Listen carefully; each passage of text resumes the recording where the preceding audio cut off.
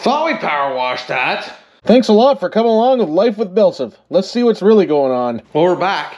And the EzGo got tore apart a little bit with me and Sean. Me and Sean tore it apart a little bit. I didn't record, I apologize, but you didn't miss much. We took the body off of it, and I realized that it needs more power washing. We got the roof off of it, and we got the body off. That's where it got so far. Tomorrow we're gonna power wash this thing up again. We're gonna start cleaning it up and get it ready to put the motor and the controller back in. The controller and the wiring's right here, as you see. So we'll go through that together, and we'll go through slapping the motor back in and testing the ohms and stuff like this to make sure it's good. Hopefully this thing runs. I'm not gonna spend any more time on it. We're gonna clean it with a power washer, get it running, make sure it moves before I spend any money on hopping this thing up because we got a seller when we're done. This one's for gonna be for sale. Unless I sell decent. Maybe I'll sell decent instead and keep this one. Hey Jamie, might have to go see J&J and see how much he wants to paint the body on this one. What do you think, Jamie? Leave your comments down below or give me a text. Why wouldn't you? Let me know. This all comes off. It's not as hard as decent. This comes off and it's plastic. It's not fiberglass. And uh, that's already off. Yeah, there it is. Don't want to paint the inside, just the outside, Jim. We'll have to see. I don't know. Maybe I'll just spray bomb myself. Who knows? I'll have to play that one by ear. I'm going to go have something to eat. Do this, that, and the other thing. And you might not see me until tomorrow. But if you don't, if you see me tonight, you'll know. But it'll probably be tomorrow. So.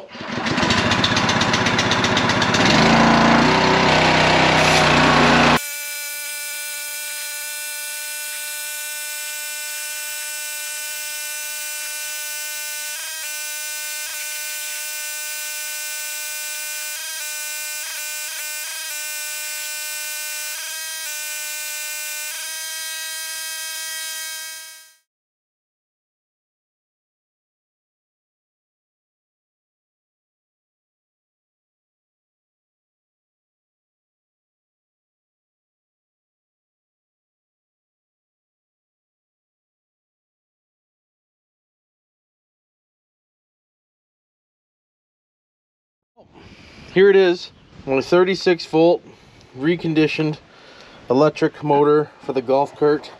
Now I gotta find the freaking screws and stuff to put it back together. Oh boy, this should be fun. And I'm pretty sure it needs a gasket as well on the rear end. Holy, that's heavy.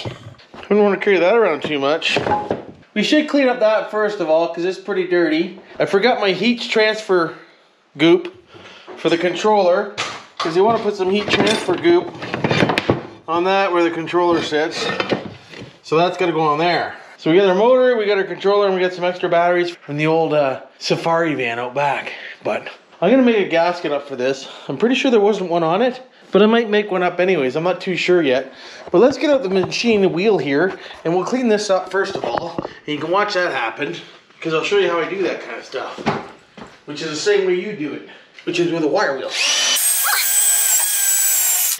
Now, doesn't look like there's a gasket on there.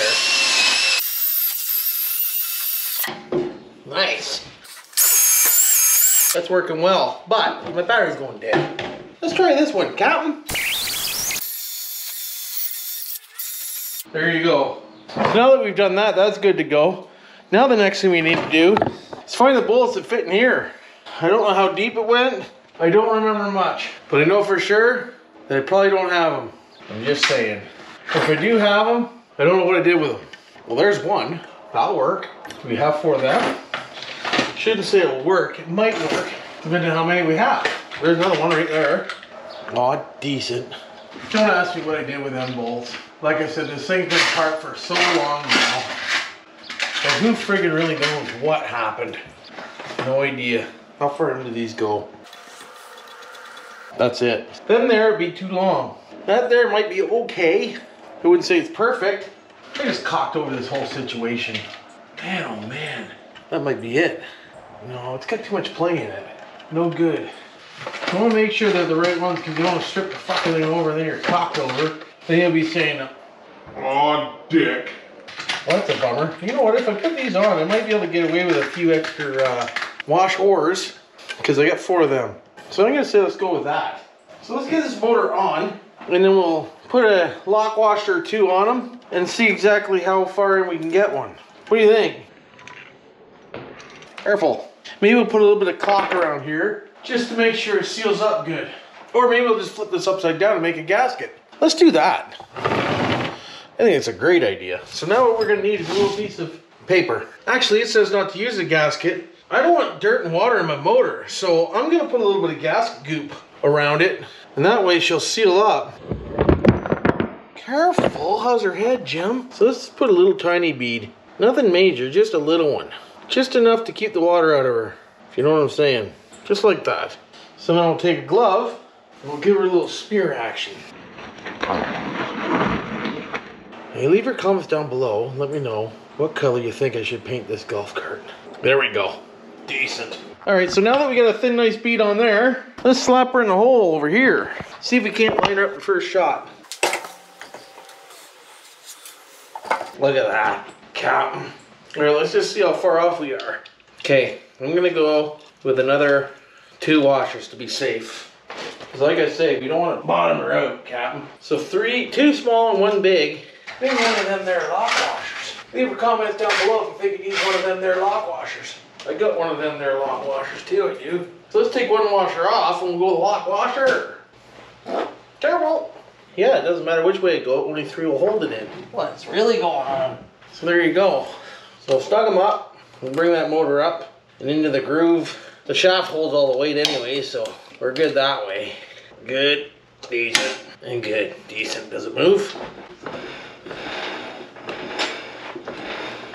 That feels nice, Jim. There we go. Motor's on. Cap. Now, we just got to uh, figure out what's what on the doodad. So as you know, this controller goes in here like this, as I showed you. So this controller goes like this, and then we got two that go on here, and two of these, I had it all labeled as you can tell, but as you know, the label's gone completely. Not even a trace of anything here. Oh man. So these two go on F1, so F1 is white. Let's, what's F1 here? Let me see. A1 goes to F1 and F1 goes to A1 and 2 and 4 and 5 and 6 go to 5 and 8. So, yeah.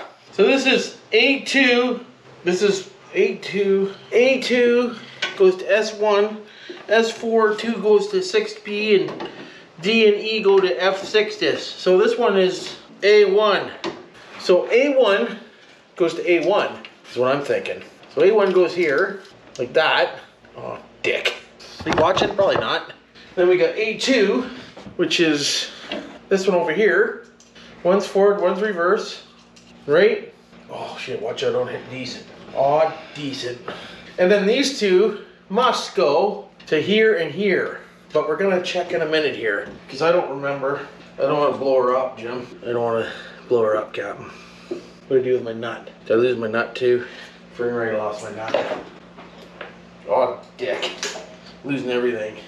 Where the hell my damn nut boy? just took the thing off. You know where it is, don't you? You just won't tell me. You see me put it down. Freak!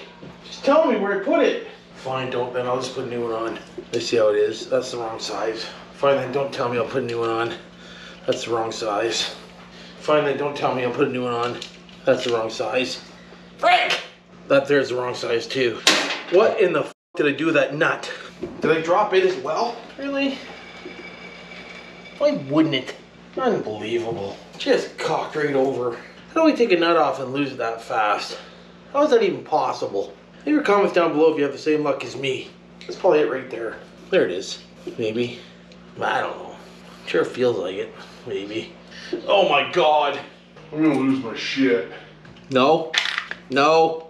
Maybe. There it is. Thank God I have extra nuts laying around. So that's that and that's that. And now we just gotta figure out what this is. I'm pretty sure that this is F1 and F2. But we're gonna find out. So what I'm gonna do is I'm gonna pause here because we do not want to screw this up. So I'm gonna do some research on this cart because it's been, like I said, over a year. We'll get it all wired up. We'll slap a couple batteries in it. We'll make sure it works. I gotta weld a new battery box in, but that's to come. Let me get my wiring straightened out and figured out before I hook it up and blow it up. And we'll do that together. I won't do it without you, but I just wanna make sure they go where they go. So hopefully enjoy this video. Stay tuned for the next one where we get this thing hopefully moving, and then we can take everything back out and paint it. And I'm gonna help me pick a color for the body because we're gonna paint the body, maybe get some rims for it. and then it's gonna go on the market for sale. So leave comments down below. Let me know what color you think I should go, and we'll have to go from there. Thanks for being here. Thanks for watching, and until next time. You know what to do for now.